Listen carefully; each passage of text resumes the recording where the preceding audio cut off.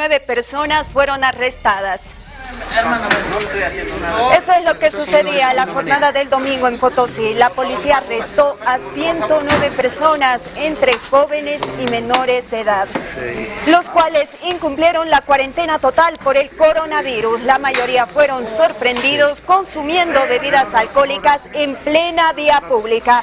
Todos, excepto los menores, cumplieron un arresto de 8 horas. Cuarentena total es lo que se vive en nuestro país.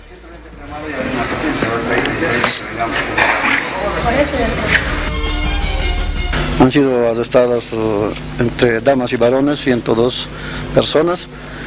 Varones tenemos 96 uh, varones y 8 mujeres que están en este momento arrestadas, como ustedes pueden ver uh, acá en el comando departamental. Eh, tenemos varias personas que están en estado de debilidad, como también personas que están sobrias.